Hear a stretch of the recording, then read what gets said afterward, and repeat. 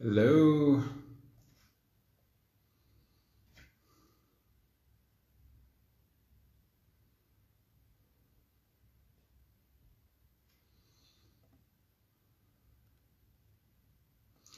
Hello, everyone.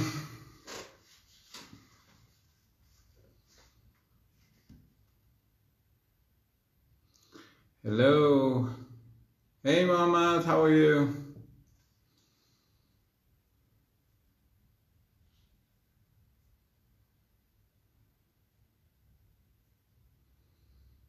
Just waiting for uh, Carola to join us. So, guys, do you do you hear my voice? Is it fine? Thank you, Mohammed. So is everything okay with my voice? Hello? Okay, thank you. I'm just waiting for Carola to join us. Thank you. Thanks.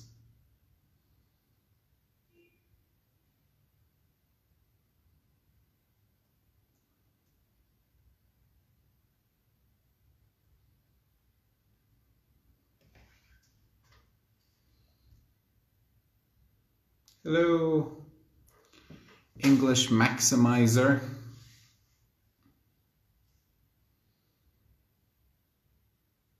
Oh, hello.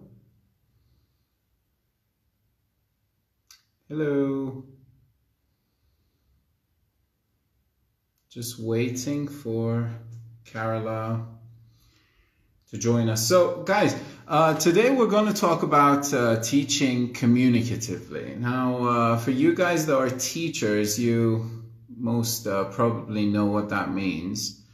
It basically means to uh, teach in a way that uh, the students can communicate easily in an English speaking context. So that's what we're going to talk about, but I'm just waiting for our dear Argentinian friend uh, because we're going to do this live with her today and uh, she's quite experienced and uh, she's been teaching and doing research on English teaching uh, comprehensively. So uh, today uh, we're going to focus on talking with her about this topic. I'm just going to try to text her.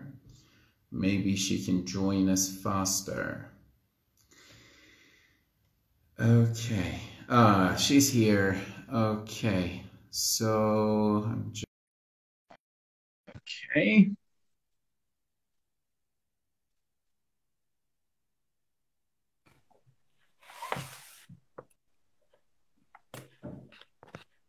Hello. Hello. How are you? Good, and you? Ah, thank you. Not bad, not bad. Is everything okay over there? Yes, it's great. It's kind of rainy, but it's okay. I can cope with rain. Ah, okay. And it, it has to be quite cold as well, yeah? Yes, we're just starting. We're going to start winter very soon. Very soon. Oh, okay. Okay. Yeah, but it's boiling hot over here, you know? It's just just like exploding. Uh, so uh, thank you for uh, accepting my uh, offer for this live. I have to put that out first of all, but um, I was just uh, explaining to uh, our viewers that we're going to talk about communicative English teaching and how it happens. But before we start talking, I just wanted to set the context for everyone. Uh, because uh, we had this uh, video chat a week ago, I guess, and and while talking with each other, we, we got to this at this point where our experiences were quite similar to each other. So um, as uh, we had the same problem at school teaching, you know, young learners and um, people that are not willing to learn English, English that much, we decided to do this on uh, teaching English communicatively. So, uh, Carola, do you mind uh, introducing yourself first of all? Okay, sure. I'm yeah. a teacher of English in Argentina. I have one group in high school. They are almost finishing high school, about 16 years old. And then I teach technical English at college for like English for specific purposes. And also I I'm I'm the teacher of um, pedagogy and uh, practice and stuff like that in a teacher education program that is uh, four years long. I teach three years, the same student for three years. So they kind of, I hope they learn a lot in three years. Yeah, yeah, yeah, yeah. They, they, they surely will because you're you have to be a great teacher. And um, I've just uh, followed your page uh, so much because you you have a lot of great live sessions with great people. And uh, you know, the one that I was quite interested in was the one that I told you was with uh, Scott Thornbury. Uh, well, yeah, that was that was just fantastic. That was it, just fantastic. I couldn't believe I couldn't believe it when he said yes. I I, I my first uh, step is to find an email address online and write a message, explain short but uh, powerful so they accept the invite and he was so willing to accept. I couldn't believe it. And then i well i, I also talked to Penny Ur, that is also uh, a well-known specialist. Yeah. And I yeah yeah yeah. saturday the 27th i'm speaking to jeremy harmer also. Oh my god really? Oh that's fantastic. It. yeah the, these are these are such huge names you know? I when i was doing uh, the delta just recently it was just like um, when, when you take a look at the books that are available and the famous books out there, you just see their names everywhere. You know, like they're everywhere. So yeah, kudos to you, and uh, keep on doing that because you know the ELT community just appreciates it so much, and thank you for all the energy you put into this. Okay, so um, yeah, just fantastic job. So, uh, first of all, let, us uh, start with this question. What is teaching communicatively? What does it mean if we want to put out a, a definition of sorts? Well, this is a very good question because, uh, as well, Harmer says this in a video when he talks to Scott that teachers usually define themselves as communicative teachers, but uh, in fact, because CLT is not a method but a set of principles, like Richard says that it's a set of principles it doesn't say how to teach. And this is a problem because people expecting to be given recipes or activities or things to apply in the class, they don't find it in CLT. It's more like a, a it's how you see teaching and not what to do. Mm? exactly. It's a set of principles. It's a it's a kind of toolbox to decide what to teach and how to do it. Yeah, and uh, nothing is actually pre-planned. Yeah, so you actually choose the materials based on the needs of your students. But do you think that's a good thing? Well, uh, I wouldn't say it's not pre-planned because it, because it, it it's all up to you eventually. Like CLT is, um, I would say it's um, it's about deciding what to teach and how to teach depending on the students you have. But whether you plan or not, that'll be a different thing. Like more no planning and no material control will be more like dogme, like Scott's. Yeah. Yeah. That's okay. Yeah, yeah. Like that sometimes. Like I don't know. We have, for example, in a school year, we usually have about 30 weeks total in the whole year. So I, I would say let's say five or 10 of those weeks should be like more like uh no planning or more spontaneous or more whatever comes in the class. But the other lessons need to be planned. I, I, I tell my students to teach grammar communicatively, and teaching grammar communicatively requires a plan. So we do plan and we also do spontaneous, and variety matters a lot. You... Okay, but um, you know that this this brings me to this question. What you said. Um, do you use a, a textbook for CLT. And how does it work? Because, uh, you know, as you said, it's a set of, uh, you know, things, techniques, uh, or, you know, stuff you can do in a classroom. But um, do we have any, um, can we use any textbooks for CLT? Okay, you put me in a, in a hard place. I, my, I do believe that you need to use textbooks in language schools or if you get students like at the beginning, I would use a book but when uh, after let's say my students come to me after four or five years and they haven't like learned exactly to do things with the language. They haven't developed skills. So if i go on with the book in the unit i have to deal with like my my case would be past continuous present perfect some conditionals and they're not ready for that. So i can't go on using the book because it's not suitable for them. I do believe the book is okay but I also believe that it depends on the students. Mm-hmm. So mm-hmm. using, I, I, think that when you decide to use a textbook, it's great to, to, to, to exploit it and to understand this is something I include in the final exams in my subject.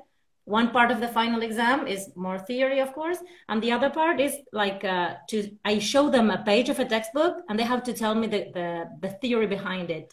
They need to prove that they understand what each activity is for, because textbooks are designed by experts. They are serious stuff and they take things seriously and they are usually very good. And if you learn how mm-hmm. to read that and what is what the aim of each activity is, it's good because sometimes, for example, at the end of a you know the presentation, you have like a, a dialogue or a text that'll be exposing students to the language. That's what we call in my subject global presentation. You deal with the text as um, as a text reading or listening because it's exposure. You isolate the teaching point from that context. You deal with all the grammar explanation, auxiliaries, blah, blah, blah. You do some control practice, and eventually the final production should mirror presentation. So if you present a dialogue, they should produce some kind of dialogue.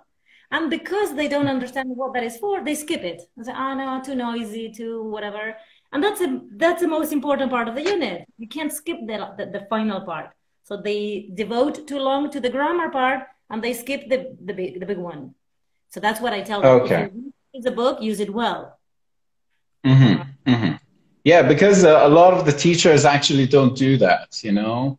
And after a couple of years, unfortunately, teachers become uh, kind of, uh, let's say, automatic. They, they don't prepare as much as they did. Uh, yeah, yeah, yeah, yeah, and and that's that's one of the I I believe that's one of the biggest problems because um, you know uh, one of the differences of CLT with uh, its previous uh, let's say methodologies or strategies or anything was that uh, the role of the teacher actually changes from the all-knowing person to the facilitator. So, uh, but unfortunately, in the classes that I've, I've visited and I've observed in Iran, um, I, I, can see that, uh, you know, as the teacher becomes more uh, experienced, they, they, they just uh, lose touch of the reality of being a teacher. And that is, first of all, being a learner yourself. Yeah. So um, I, I, guess that, that happens a lot, especially when it gets to, um, you know, CLT. But um, let me let me ask you this: uh, the subject of the live is uh, about uh, communicative language teaching. Uh, so how you can uh, manage your class uh, communicatively. Um, so my question is this: Can you can you walk us through um, what you do basically? Okay. For a, a communicative class, before it, while you do it, after it, whatever in well, the course I, I think you probably want to know about my my secondary school experience because that's where i teach the language yes. in the others i do something yes well i yes yes definitely there's no textbook i do create a kind of uh, handbook with things i do because there is printed material i choose uh, some dialogue some texts to deal with but i go in the order as as, as as necessary. And I would see myself, I do believe we are facilitators. I agree with that, but I consider myself a, a resource in the classroom because they are not exposed to English outside. We don't have any English in this town, and most of them don't listen to music or watch movies in English.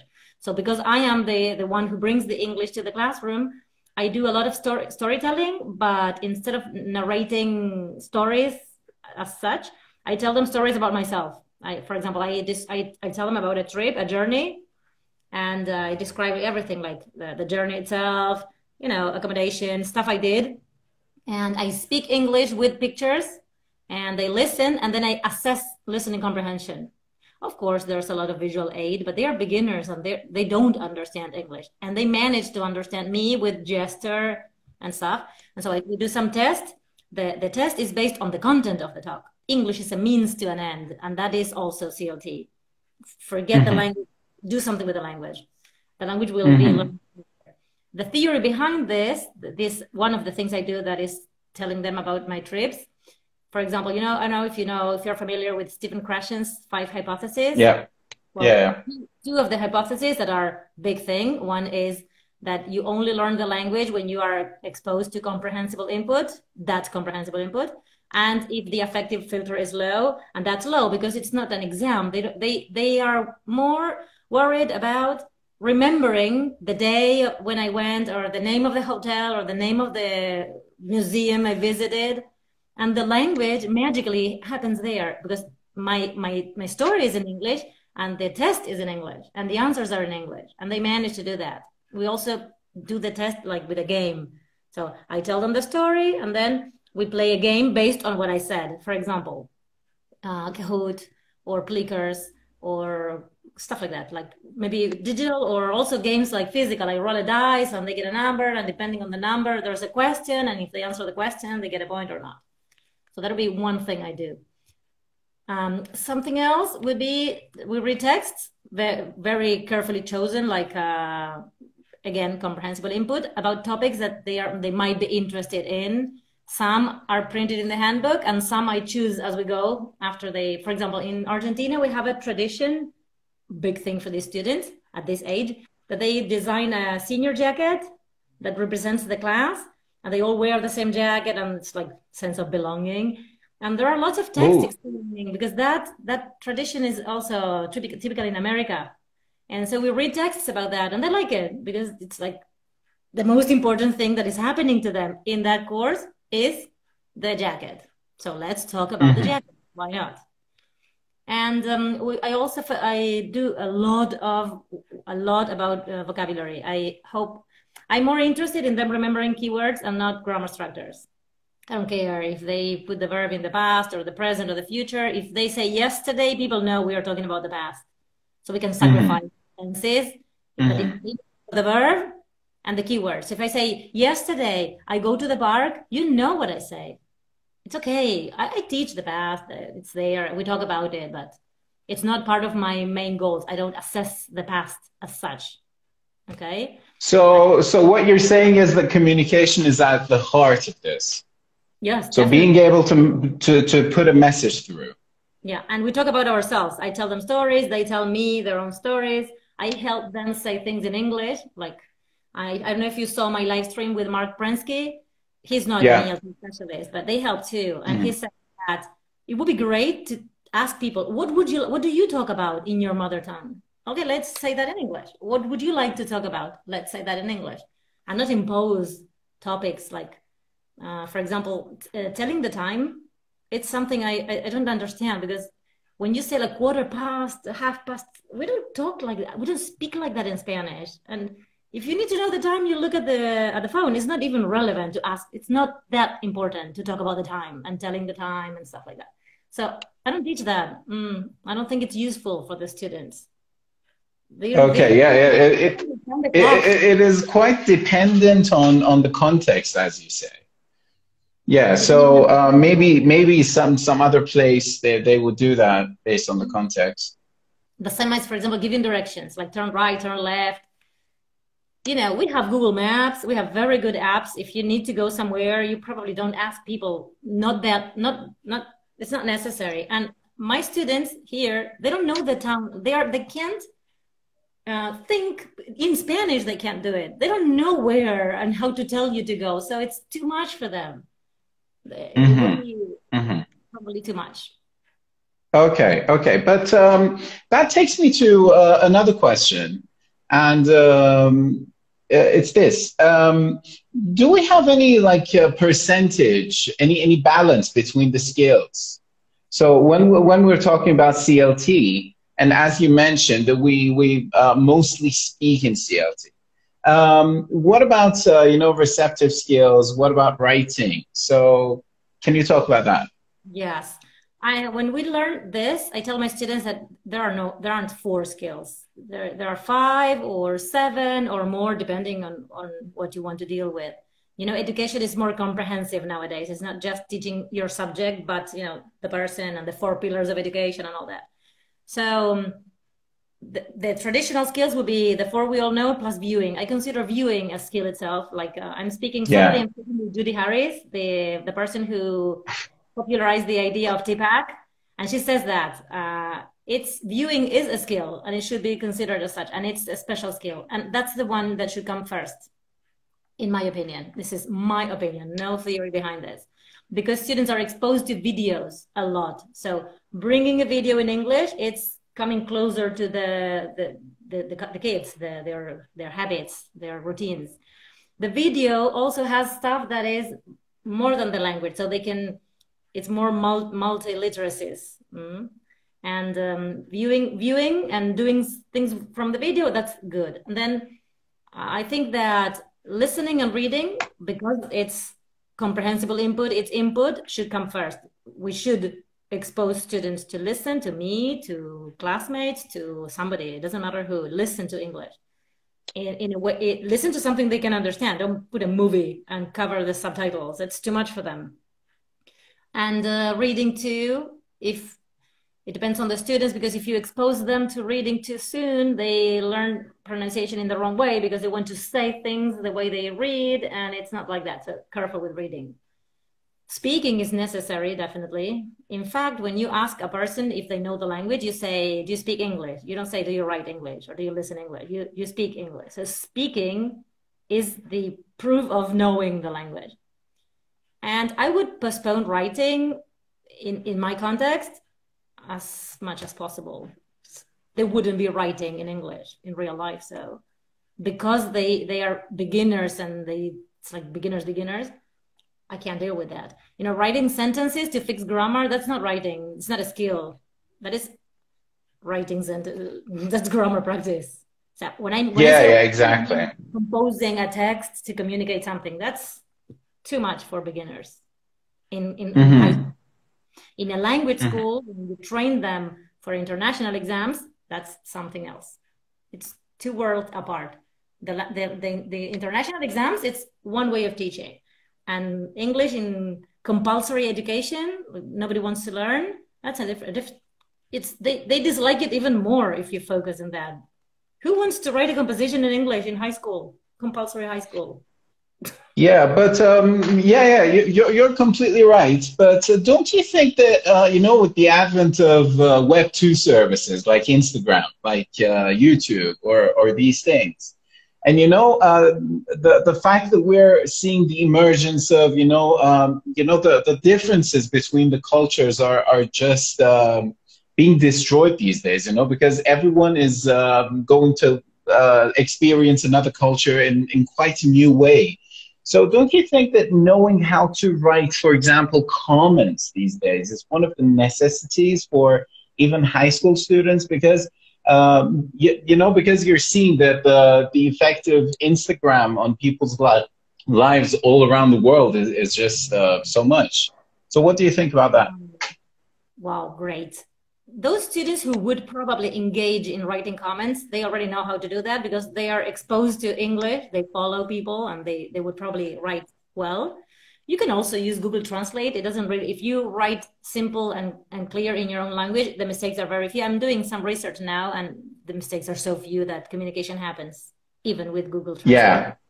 Yeah. And, um, and I, I don't imagine my students texting in English. It's not because my students don't do that okay? Mm-hmm. and those who do they learn on their own. They don't need us.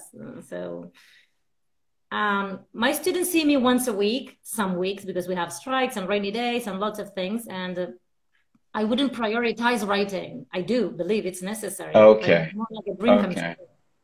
in the very few lessons i have i i think it's about oral communication a lot and vocabulary. Now somebody asked in the chat when we start english in argentina Compulsory education usually um, includes six years uh, in high school. That would be at the age of about 12, 11, 12 to 17, 18. It's three school, three school, three periods at a week, 40 minute periods a week, two hours a week for six years or three years, depending on the school. Some uh, elementary schools include English, but it's more like depending on the school. It's not part of the law. The legal system by law says six years, usually. Okay. Okay. That's uh, that's the same happens uh, more or less in Iran as well. Uh, but it depends on the school. So we have bilingual schools, we have international schools. It, it's uh, it's quite similar to what you said. Um, but um, let me let me ask you this: uh, if you uh, um, and I don't want you to refer to any like research or anything by any other people. I, I just want to know your honest opinion based on your experience.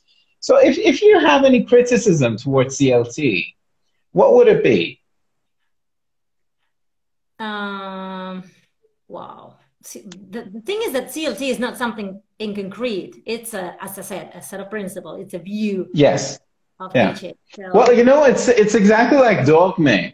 So, uh, you know, I, I, did dogme for my experimental practice uh, during Delta Module 2, and um, I loved it. You know, at, at the beginning, I, I, didn't know what I was doing in the classroom, but uh, I, I, just uh, watched uh, this video uh, of, uh, of Scott's on, on uh, YouTube. I, I, think it was with Jeremy Harmer. you know, they're, they're talking about dogme and um, the spirit of, of what they talked about was, was just magnificent, you know? But um, different people have different experiences. And uh, for me, as a teacher that had like, uh, you know, a good uh, ability in speaking English and handling the class, it was, it was just amazing. But um, some people would definitely hate it. Definitely. But um, yeah, but it's time consuming. It's yeah, yeah. Creative, innovative classes every single for every single lesson. So of course it's easier to stick to a textbook, and I respect that. It's like okay, deal with the textbook. When you finish a unit, do something different after that. One day, two days, three lessons, something a mini sequence based on skills or on oral communication or something different, completely different. Yeah, yeah, but but if if we want to talk about CLT, what do you think? So what what would the criticism be towards CLT? I don't find criticism because it's misinterpretation because it's not a method so don't expect to be told what to do. It's not a method. It's a set of principles it's it's like a pair of glasses to see things through not a tool to do. Uh. it's to see it's to understand. It's a like a paradigm. And uh, i'm not sure they, they they don't say don't teach grammar CLT doesn't say don't teach grammar. You decide to teach some grammar because you believe it's necessary. That's a principle because your students need to say something, to do something, to whatever. For example, in, in, in this town, it's kind of touristic. It's possible that you get a job in a restaurant, hotel, clothes store, and you might need to deal with somebody speaking English. So that's what I focus on. Some of my students have have uh, been in a, working in a bar and somebody speaking English approaches them and at least manage and give them what they want. So that's what we should focus on. That that's my situation. My students, because they they get summer jobs. Not all students get summer jobs. They do because they, they need the money, and, uh, mm-hmm. and and that's something they haven't done before. Also, because if every teacher does the same, again, not not relevant. You can't be learning mm-hmm for four years to to be a receptionist and out out. That's something you did you do once. Well, I feel I'm the one who can do that in that year, and then they go on with the grammar before and after. Uh, Scott said it in the live stream. Um, all students are communicators. Not all students are grammar learners, and you need to respect that. Mm-hmm. They are, mm-hmm. they are mm-hmm. forced. My students are forced to study English in compulsory education. I'm not speaking about language schools when they choose to study the language as such to pass exams like Cambridge examinations or similar. My students don't choose that at all. They don't even like it. So let's do something useful. And when you ask them, have you ever heard someone speaking English in the town? Yes, where? Bars, Corsodromo, we have like uh, touristic places. Uh, well, let's learn that. Yeah, yeah. Well, uh, wh- what do you do about uh, students that are not interested in the class? Well, I, I, don't think that you can motivate everybody because we're all different. And we should respect that some students don't like English and they will not. For example, I don't like beer, and people should respect me for that, not making me want to like it. I just don't like beer, and it's okay. All my friends drink beer, and it's a like a discussion we have, and they they they try to oh test test this one, this one is good, and this one no, I don't like it. Respect me. So well, it's okay. If even if they don't like English, you can teach them something else through English, values. For example, learning to read whatever language, reading comprehension as such, that's a must. That's non-negotiable. If you don't read, I don't care if you don't like it. If you don't learn to read as a citizen, you are in trouble. Okay, so I use English as an excuse to teach you reading strategies in general, like, you know, paratextual information and summarize uh, stuff like that. At least that's what you learn from my class. And that's that's that's a must. Some things are non-negotiable, like literacy. You need to to to read and write at least in Spanish. So I teach them reading strategies that they can apply to Spanish too. We do the things in English because I tell them you have to pass my exams. but it's okay if you don't like it. I respect them. I try hard, but I don't believe I can't motivate 30 students that are forced to study English because they are 16 years old and accidentally are in the same class. They are not even friends. So, mm, I, yeah, yeah, yeah. I, I totally understand. You're you're not supposed to just put everyone in line, especially in the context of a school. Uh, that that that happens a lot. Uh, you know, as as we talked about it before, uh, not everyone just likes to be there. So so that's that's the major problem when it gets to when it gets to schools. I usually tell them there are some rules like okay, studying, trying to pass some of the exams, coming to class. Some, some, some rules are necessary. And then the rest is up to them. Yeah, yeah, completely. So, um, just um, uh, at the end, I just want to go through some activities mm-hmm. that we can do in CLT. I, have got a list over here myself. These were the things that I just put together myself, and uh, I would like to just talk about it for a couple minutes. So uh, the first one was role playing. What do you what do you think about role playing? Well, I, I think it's one of the main definitely. If you if you deal with the CLT, you need to aim at role play. Sometimes it's not possible because role play is the, the role is the thing, and the language could be anything. My students are not ready for that. So what I do is like a step behind that that is acting out. So we do some uh. acting out that is uh, like on the way to role play it's a little bit more controlled. So we deal with one, two, or three models of dialogue, and then they act it out. So there's kind of memory, kind of improvisation, but I bring uh, cue cards or because role cards are, it's okay, but it's again a dream come true, not in my class. My students are not ready to speak spontaneously. They don't have the language for that. So they just they know the basics. Like for example, it's uh, at the clothes store, so they know the name of the clothes, the how to ask for the size, for the color, the price, and how to pay. And in the card, I say, you want to buy a T-shirt, uh, red for for brother, and, and the other person has the price, and they act out a dialogue that is as as far as I can get with them. Ah, okay, okay. But uh, are are you one of those teachers that believes that everything has to happen with uh, language? What about like just as you said, acting out? You know, like yeah, showing stuff. When I was yeah. teacher, I'm also a Portuguese teacher, and my my ELT teacher, he, he was one of the, the one of the teachers who made me the one I, the way the way I am right now. He said I, that he was dealing with the could you give me two tickets for the movies, please? A lot. And then in when he went to Brazil, all in Portuguese, when he went to Brazil, he saw somebody saying, two, please. Like, what? I, could you give me two tickets? To, so two, please. So two and please are the keywords I said before. They need to know numbers yeah. are a must. Everything happens with yeah. numbers. So teach the numbers yeah, and teach, for example, uh, respectful expressions like please. Yeah. And let's do the language. Forget the could you give me two tickets to the movie? Exactly. Exactly. Yeah, that, that's that's what I wanted to mention because uh, you know just being able to communicate that's that's the thing, not knowing like the structures, nothing like that. So uh, what about? Uh, I present the structure. I I say yeah yeah yeah yeah, reading, yeah. the drilling, and then I underline the minimum uh, or I use yeah both yeah. I mean, do please, and then yeah yeah yeah yeah. Okay, so what about interviews? Uh, I mean, interviewing my students.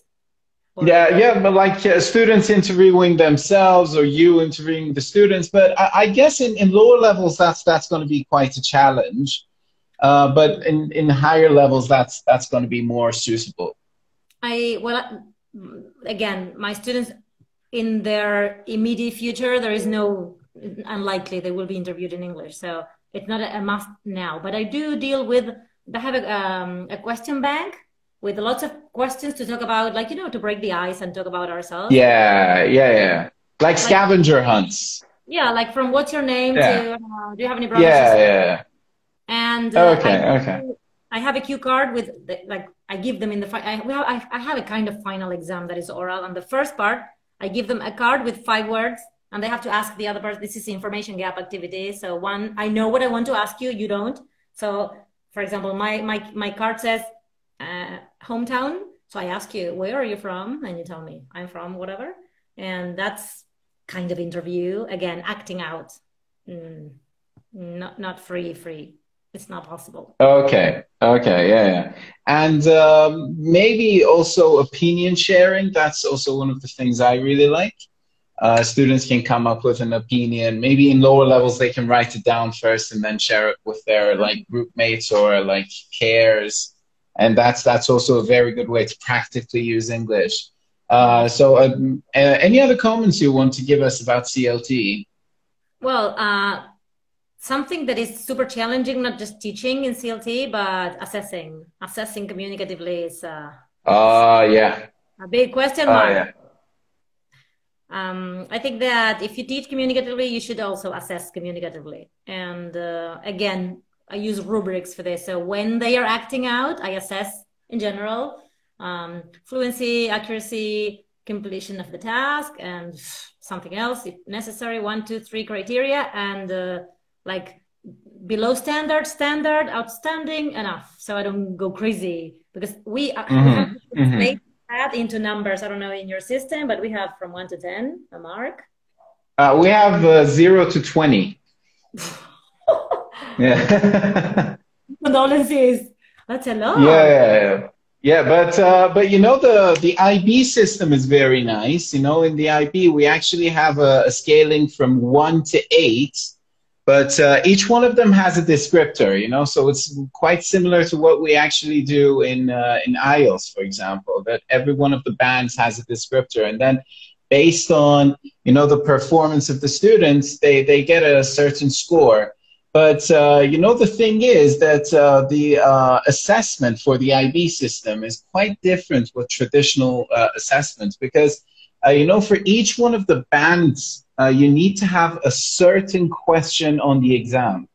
Oh. So the weak students will be able to answer the easier questions that are like memorization questions and stuff like that. And then when we go a level higher, uh, that's going to be a very simple uh, analysis of different like uh, different uh, different uh, phenomena based on the ta- the subject that they're doing the exam. And then when they get to the the highest uh, bands, they they need to create. You know, it's it's using their prior knowledge to do an analysis and get to a different type of outcome. So that system is very cool, but uh, you know the ordinary system over here is uh, is like uh, very traditional. They have a, an exam paper. They just have to answer the questions, and most of the time it's like fill in the gaps and multiple choice questions. No essay type questions, to be honest. And um, yeah, that's it. So yeah, I, I'm just gonna turn on the comments again. So if anyone has any questions, uh, but uh, we had a question someone asked, uh, and it was directed at you. uh, you, you were talking about the past tense at the beginning of the live. And uh, you said that you don't correct them. And there was a question that don't you correct your students even if the lesson is about past tense? Oh, my lessons are not about past tense. I speak about past okay. experiences.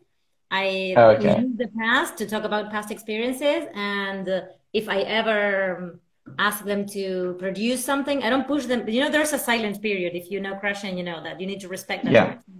Because yeah. I'm, I'm I, because I tell them that there are regulars, irregulars, whatever, it doesn't mean they are ready to speak or write meaningfully in the language. So it's pushing them too soon. I'm speaking about my students again, super false beginners, the worst ones, because they kind of know something, but they can't do anything with the language. So no, I don't I don't focus my lessons on grammar. Their grammar, the verb to be is banned. We don't talk about the verb to be in my class. No, who's that? Okay. Okay, that, that, that's that's pretty nice. You know, that's uh, good for your students because uh, you know a lot of the classes they actually are quite the opposite because uh, they they just focus on grammar, and that's that's such a pity. Uh, so, uh, guys, if anyone has any questions, uh, you can type it here because um, yeah, we're getting to the end of our time. So any questions? Just I, waiting. I, if you want, while I speak, I can tell you. I deal with past as vocabulary. So we learn specific verbs in the past. I don't, I don't make them remember the infinitive, the past, and the third column together. I, if you talk about trips, you need like flew, stayed, ate, bought, like you know the stuff you do when you go on vacation. And they learned those words like that as vocabulary. I that's what when I mm-hmm. said I puts everything on vocabulary, that's what I mean. Yeah, so yeah, yeah. What is uh, what, what bot means, not the present of, not necessary. Yeah, yeah. Uh, so we have this other comment over here about uh, so how can we correct them? Uh, well, um, we can talk about correction. We're going to have uh, some live sessions in the coming weeks about uh, error correction because that's that's one of the most important things in English language teaching. Uh, but uh, basically, you know, error correction should happen in a way that you know the report doesn't break down. You know. So I would say that's that's the most important thing to have in mind because a lot and uh, you know based on research um, you know the people don't learn from error correction as much as you think they do in, in so it's yeah i only i don't even correct. I just go back to things that i don't understand. Like if if the error impedes communication i don't understand. So i say can you repeat please? What do you mean? Exactly. yeah. when I was teaching in the language school and I was focusing on, I prepare students for um, first certificate in English examination and CAE and proficiency. Well, that's a different thing. And uh, of course, I had correction codes and rewriting. If they don't rewrite, it's it's useless. And in speaking too, sometimes I, I, I write down some things, give them feedback, ask them to do it again. In we have a subject in college that is called uh, orality, reading, writing, and ICT, and they have oral presentations. So we have a rehearsal. We write down a couple of things they need to, the, like the, the, the most urgent to correct. We give them the feedback. They study again, and they have the real presentation, and we check improvement. If necessary, they do okay. it again. But if they don't do it again, errors, you, you can tell them that's wrong. Okay, and they keep saying it wrong. Yeah, yeah, yeah. But uh, you know, the thing is that as much as you tell the students that they are making a mistake, uh, you know, they, they, they again, they can't fix the problem because uh, you know uh, something that I really like about uh, error correction is using uh, raising awareness activities. You know, I, I, I think raising the students' own awareness about something is quite more important than just telling them that this is your mistake, you know? Or maybe in the feedback stage of each one of the lessons, you can just provide them with some feedback that, you know, just uh, lights up a torch in their head. Like, I'm, I may have made a mistake in, in this lesson and, you know, just take them into like a thinking, a, a thinking stage by themselves, maybe some, something like that. Uh, but uh, uh, two things that changed my mind a lot about error correction. One is that when you talk to natives, I, have been blessed to travel a lot, and they make mistakes. They say she don't, she don't. One one American lady once said she don't know nothing. Uh. What is so wrong? She's a native, and she said yeah. And yeah, yeah the second thing that changed my mind was that when, when I, I, consider myself a good speaker of, of Spanish, my mother tongue, I, I, I mm-hmm. believe that my Spanish is pretty good. And I have mm-hmm. learned recently, because of, I don't know, writing research or stuff, that I have so many mistakes in my own language. I, mean, I don't have the right to correct students. So if errors don't impede communication, nothing to worry about. Exactly, exactly. So uh, there's there's another question over here. Are those who are not interested in English kind of distractive in class? Wow, discipline is a, it's a problem. It goes beyond being. You know, when you teach, this is something. Uh, if you if you know Montessori's ideas, you understand that when you yeah. teach in math, you teach to one student. The rest are bored, or it's too easy or too difficult for the rest. It's never possible to teach because everybody has a personal style and a, a pace and interest. And uh, discipline is a problem. I was a very good student of english. I, I understood everything and i talked a lot because i talk a lot. And my my teacher said that i was misbehaving and i was just talking. So yeah, yeah i know. we need to reconsider discipline in the classroom too Okay, but but one of the answers, I guess, would be differentiation. Differentiation helps a lot when it gets demotivated students in the classroom. Uh, maybe just give them another task, and maybe they can work on something else completely. You know, uh, we have a, a, great policy for this in our school. Uh, so we have uh, a, a, department in our school that focuses on uh, teaching students that are not interested in the classroom or are generally uh, you know, lower in the level. So uh, they can actually uh, receive a, totally different type of, uh, you know, education when it gets to that classroom, that specific classroom, either in the class or out out of the class. Now, it's it's going to be very uh, detailed if I want to go into details, but uh, we can actually do that. And there's another question as well, and I think this this could be our last question because we don't have a lot of time. So, do you think uh, correcting errors is the? I, am trying to correct the grammar over here. Uh, do you think that uh, correcting errors is the same? Uh, is the same with demotivating all the time? I think they mean that uh, if you correct uh, students, does it necessarily mean that you're demotivating them? Yeah, if you interrupt production to correct errors, definitely. Nobody wants to talk if they will be corrected, like, not wrong, shut up. But um, it depends on the student. Some students, especially adults, they want to be corrected. They, they like it. They want feedback. And others don't care. So we, we should learn what kind of students we have and provide them with what they need if they want. I, I want to be corrected as a student. I'm because when I studied other languages like Italian, German, I wanted to be, I wanted to know if I was saying things right. I would, I want, I didn't want to fix mistakes, but other people don't like it. Uh, somebody I talked to on Friday, he said he quit studying English because he was corrected all the time and he didn't like it. Okay. Oh yeah, yeah. It's so personal. Yeah, it, it, it's really, it's really personal it's uh, but you know, in in the Iranian context, I, I could say that a lot of the people like to be corrected. Good. So you know, if you if you don't correct them, they think that they're it's, it's no good. You know, the class is no good. Okay, so that that's why that that, that you need to know your students. You it's them. Yeah.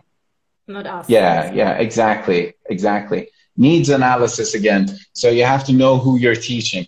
So, uh, I can't thank you enough for this opportunity. It was uh, it was amazing talking to you in person, and I I hope that everyone has used and learned as much as I have um, from you and all of your experiences. So, um, if you just want to say any ending words, I'd be happy to hear them. Um, maybe uh, I, there are two keywords I, I, I, like to keep in mind as a teacher to experiment and to reflect. Uh-huh. So you need to oh, yeah. and you need to reflect on what you did and share, of course. Yeah, yeah that's that's that's quite important yeah just uh, just to reflect on yourself yeah that's that's uh, such an important thing that you know a lot of the people forget to do yes unfortunately, unfortunately. grammar yeah. We forget the learning to teach too make your teaching yeah. your own goal yeah yeah exactly exactly to, to become a better teacher and let's not forget that uh, teaching and learning are the same thing. So, uh, yeah. Uh, so thank you for everything and have a great time. And uh, the live will be saved on my page uh, just after we finish it. Uh, thank you again and have a great day. Okay, thank you. Thank you. Bye bye.